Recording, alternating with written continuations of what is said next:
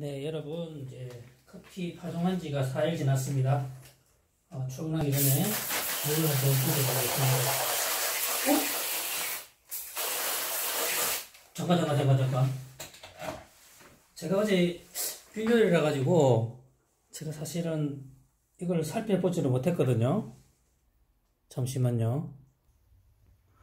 우와! 상추 씨는 벌써 이렇게, 우와! 대박. 와, 벌써 이렇게 상추씨 4일? 4일, 5일 됐는데 이만큼 올라왔습니다. 와. 야, 이게 올라온다면은 커피, 우리 여기 있는 커피 아이돌도 올라올 가능성에 진짜 제가 희망을, 아, 부푼 가슴을 다시 안게 되네요. 와. 아, 커피 나무는 정말 이거는 더 잘 자라는 것 같습니다. 여기다 두고 나니까. 와, 진짜 하나를 파서 보고 싶지만, 그렇게 하면은 안 될 것 같고, 오,